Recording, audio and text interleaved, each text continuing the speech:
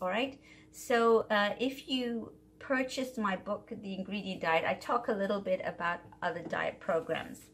But let's talk about the diets that we have right now, or we've had over the last four decades. So the most common one, of course, the number one is calorie restriction, all right?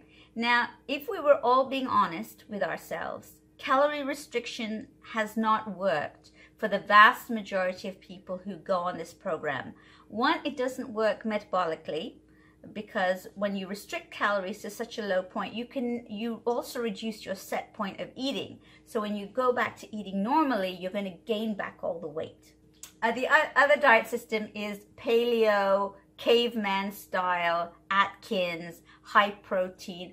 All of those are uh, also sort of passe diets now. They've had their moment in the sun, and so forth, and people now realize that they don't work. Right? That's essentially it. They don't work right? So they're still out there. There are tons of paleo foods out there. They're pe- and the reason they don't work is, and I'm going to be brutally honest, is one, they bung up our digestion. Bung up is a very English phrase.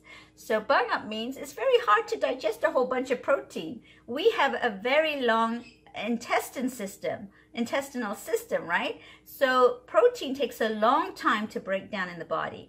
And if you're only eating exclusively protein, then you, the digestive behaviors in the body are going to be slowed down.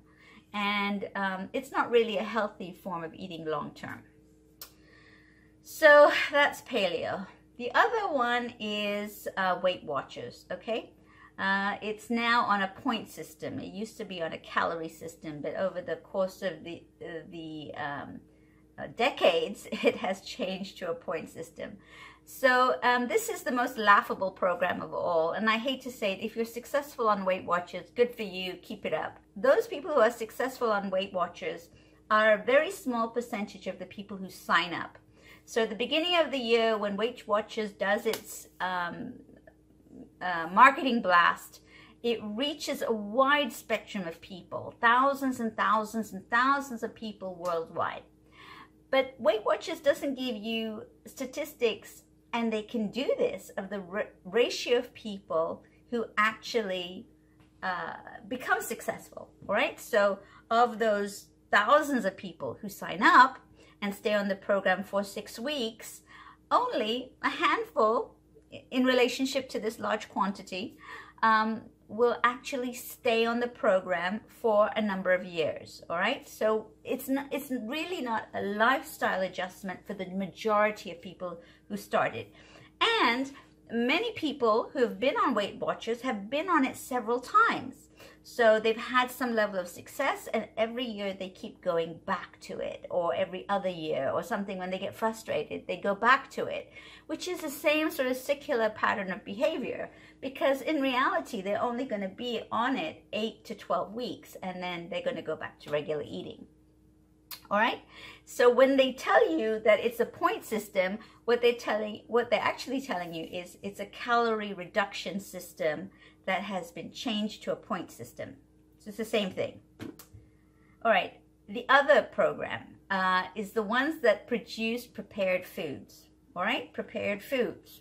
Tons of programs that make the meals for you, deliver them to your door. You get the meals. They're awfully expensive because if you went to the grocery shop or cooked the keto way, you would save a lot more money all right? And you'd reach your results a lot faster. So um, the thing that I have an issue with personally, this is my beef, is that those prepackaged foods are made with ingredients that you don't know anything about, all right?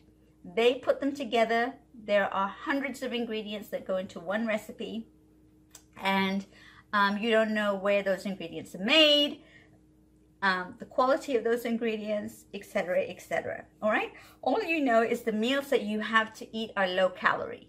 That's pretty much the gist of it. They're giving you a calorie controlled diet by providing you with a set number of foods to eat every day. So that's so that's that. So now I'm also going to talk about vegetarianism, shakes, cleanses, all of those things. So I'm going to bundle those all together because they're the same thing. All right. So um, they're all a form of calorie reduction. Even if you become a vegetarian or vegan, what you're doing is you're eliminating fats from the body, which is absolutely con- contrary to um, saturated fats, excuse me, contrary to keto. All right. So um, if you're doing a greens or shakes program, again, you're just reducing your calorie intake by eating greens. And the unfortunate thing about these shake programs is you can't sustain them because there's not enough variety and people get bored. We as humans have a higher intellect, all right? And we have that intellect has to be stimulated. And so if we're having shakes every day, three times a day, whatever, at, at some point the intellect's going to get bored with that, right? It wants variety. And that's the problem psychologically with those types of programs. Veganism, vegetarianism, it works for certain people's people. So like I said when I started this talk, it's um, it's uh, certain people that will respond to eating in a keto lifestyle and a keto way. So I'm going to stop there because I went over my time and I just wanted to just give everybody a focus of whatever program they're going to choose. There's you have so many options. Just whatever you do this year, this time is something that you can do for a long time.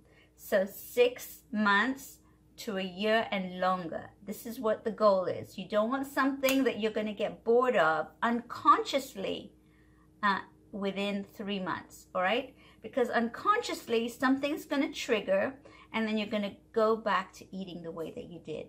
And that's not going to be biologically safe for your body. All right? So that's me. If you have comments, let me know. Be kind with your comments, please. I can't help everybody. I'm here just to do my thing. And um, I hope I can help some people, which is my goal. So thank you, keto friends, and I'll see you on the next recipe. Bye.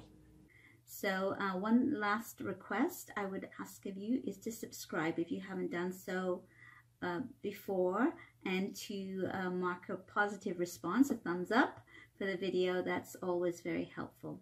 Thank you very much again and I'll see you on the next recipe.